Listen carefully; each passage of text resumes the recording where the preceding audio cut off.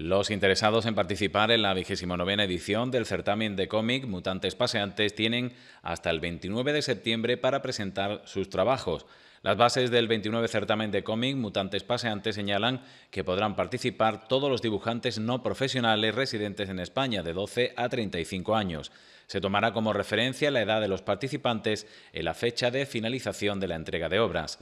El tema será libre, con textos en castellano y deberán ser inéditos. Se establecen tres premios y cuatro premios especiales. El primer premio dotado con 600 euros, el segundo con 400 y el tercer premio con 250 euros. Premio Viñeta Joven para autores hasta 17 años con 250 euros. Premio Ilustración para el mejor dibujo o ilustración dotado con 250 euros.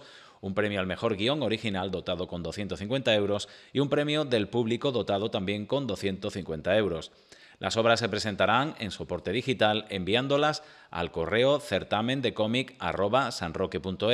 También podrán presentarse en formatos tradicional o físico.